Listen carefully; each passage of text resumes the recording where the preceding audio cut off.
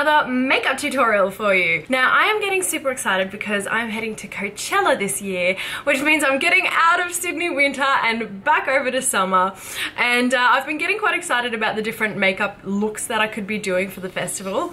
Now I'm not really the sort of person to go like with crazy festival makeup. So for me, I'm a little bit more drawn to those dewy, daytimey, super golden, super highlighted kind of looks. So this is what I've come up with. I've been playing around a little bit and if you're interested in finding out how I did this look, just carry on watching. Get started. So with foundation, I'm going to do a mix between these two here. I'm going to put all the products in the description box below because I'm terrible at actually reading them out loud while I'm doing it. So I'll just do my whole routine and then list out what products I'm using for you guys. So this one here is the lighter of the two and I'm going to put a couple of drops towards the center of my face. It's almost like I'm going to be kind of contouring a little bit in advance because the outside of my face is going to be darker than the inside. So at the same time, I'm going to take the darker one here and just put a couple of drops more around the forehead and towards the outer part of my face. And I'm going to drip this one on my neck as well. Just blend that all out. Now to conceal those darker circles under my eyes, I'm going to jump in with this concealing palette and just grab a bit of the yellow, which I'm going to tap onto the darkest parts under my eyes there. I'm going to put a little bit on my lids as well. Then I'm going to jump back in with this contour and concealer palette here and grab that top color there, which I think is the closest to my skin color. And the reason I like it is because it's actually not going to be too light under my eyes. I do want it to be highlighted there, but not like crazy, crazy, because I'm going to bake it with a little bit of powder. So I'm going to go over that yellow just to bring it back to a more skin tone color. Now, as soon as I've blended it, I want to bake under the eyes just a little bit. So I'm going to do both under and on the lid so that that doesn't crease there.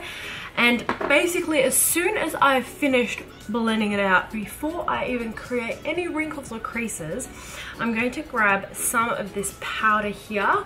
This is the Mineral Set It, Don't Fret It powder. And I'm going to grab it with a different beauty blender and just pat it on there.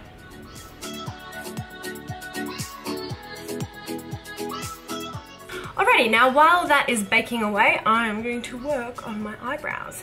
Now I love using powders for brows and I'm going to be using this little set here. It's cool because you've got a kind of setting gel there and then two powders there.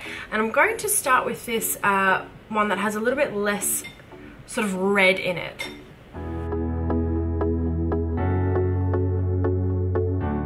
I'm just gonna dab a little bit of that setting gel just towards the inside of my brows.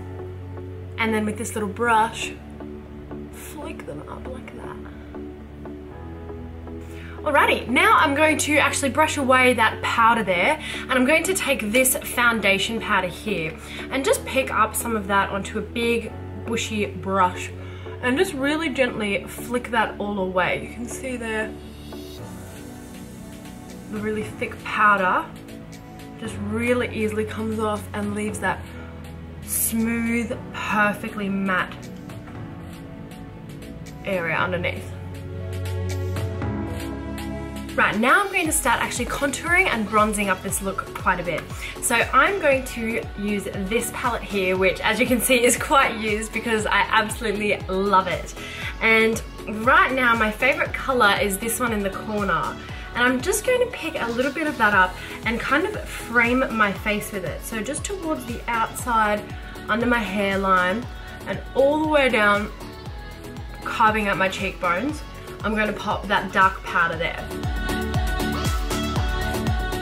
I'm going to use the same powder just to sort of chisel my jawline a little bit. So just under there, don't go too nuts with this, otherwise you kind of end up looking like you have a beard, like a 5 p.m. shadow going on, but just a little bit there. And then I'm gonna take the same one and just do a little bit on the tip of my nose so that I look look like I've been walking around in the sun all day. And now, I'm moving on to the creme de la creme. This palette, which is so cool. Check this out, ready? Like this. It kind of looks like a folder. like you could just put this with all your uni books or something and pretend you're doing something really productive when in reality you've just got all your makeup with you.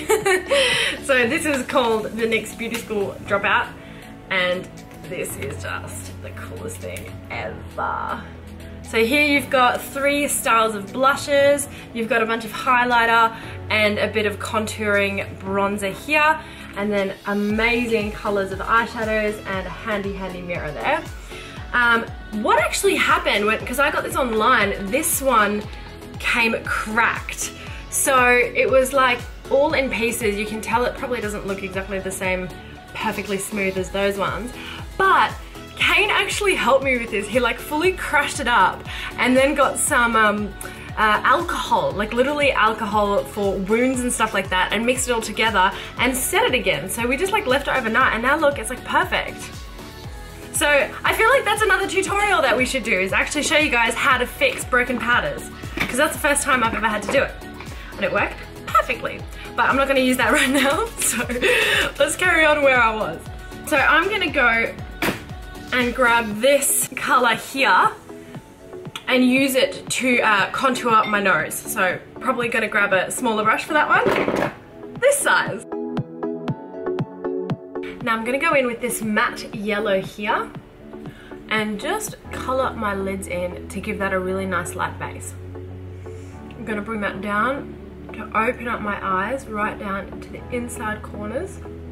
Now I'm gonna go back to my really deep bronze contour here and just create a bit of a cut crease and just bring that bronze color from the side of the nose and from the outside of my face through to connect with my eyes.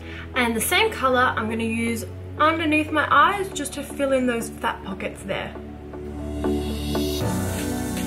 Right, next I'm going to pick up this blush here. It's super soft and peachy looking and I'm just gonna softly pop that on the apples of my cheeks. Okay, so now starts the fun part. I'm going to make this very matte look look very illuminated and golden and summery and glowy. So I'm going to pick up this little beauty school dropout palette here. This is called Nude and it's got these amazing shades here that are super golden and peachy. So I'm just gonna grab this top gold here and with my finger just dab that onto the center of my eyelid. You can see how beautiful and shimmery that is there. Now I'm just gonna softly blend that out.